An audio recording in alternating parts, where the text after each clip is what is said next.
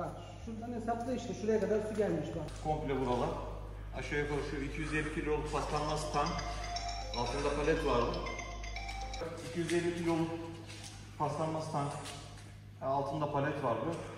Su kaldırıp komple yatırıyor buraları. Evet, çık-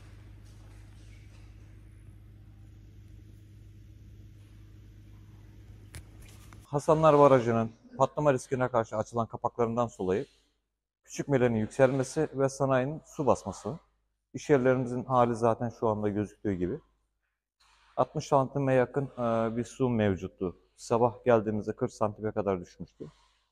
Kapılarını açıp tahliyeye başladık işte. Bir yandan da temizliğimize. Ama makinalarımızın çoğu şu anda hasarlı ve çalışacak durumda değiller yani. Tahmini ne kadarlık bir zarar var? Şu anda benim olduğum bölümde 300 bin liranın üzerinde. Yan taraftaki nalburiye kısmı 1 milyonun üzerinde.